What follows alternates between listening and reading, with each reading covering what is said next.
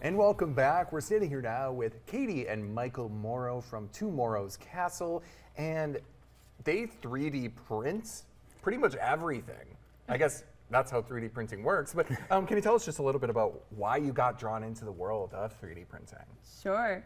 So a couple of years ago, we had gotten, well, I had gotten Michael a 3D printer for Christmas, and we started doing 3D printing. And when I say we, I mean Michael, because I was not into it at all. Yeah. And um, so since then, uh, we have expanded into actually a different printer, um, more of a commercial size and style. So yeah, that's how we started. Yeah, and how long does it take, you know, to, I guess, you know, ranging from like a smaller item like one of these Sure. cute little doggies over here to uh, th- this Lego, um, how does how does the time difference work for that?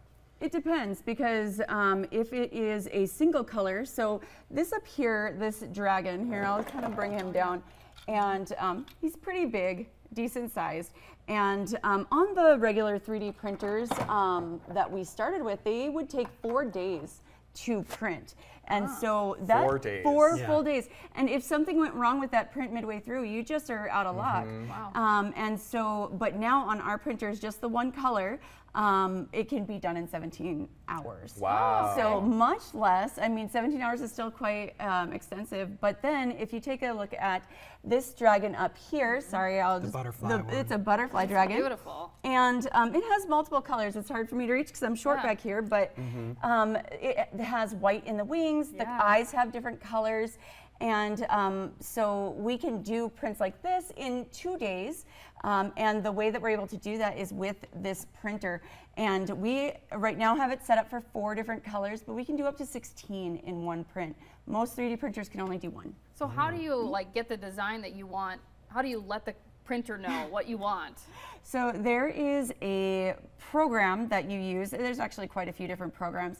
Some people pay for the designs, um, pay other people for the designs to be able to sell them commercially, and a lot of our prints are that way. So the dragons, um, most of the things you see today are that way. However, we do things like the dog up here.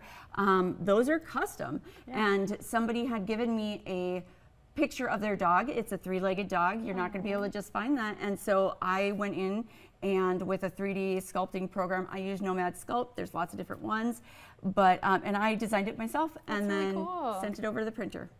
Wow. Um, so you offer a ton of different items. So can people just go on your website and look through kind of what your what your offerings are? Absolutely. So you can go on our website. We do um, vendor pop-up events, and then also if you uh, want to contact us about getting something custom done, there's a contact us Sure. on our website. We also have a Facebook, so you can um, do that as well. And like you said, we have a very wide range of what we do from disability related things where, um, it, so it's hard to see it in here. I didn't um, get that out, but basically it lets you open cans um, easier with your hands. Verse, or we have um, things like Nintendo Switch docking stations. Cool. All the way to decor, articulated items, and that, yeah. so it's one of those things where it's like um, when you're, uh, you know, I, I had a roommate once that was really into into 3D printing, um, but you know, he went out and spent that money, you know, to get it, and I think this is a great way, you know, for people who are interested in it, you know, to still get the products but not have to spend, you know, that initial. Um, that initial amount Startup of money. fee. Exactly, exactly. So um, you said on your Facebook page, Yes. um, and do you guys have a website? We do well? have a website. Two Morrow's so Castle. twomorrowscastle.com. All right, and beautiful. It's like the number two, so TWO. All right. Well, thank you so much for joining us, and we will be right back after the break.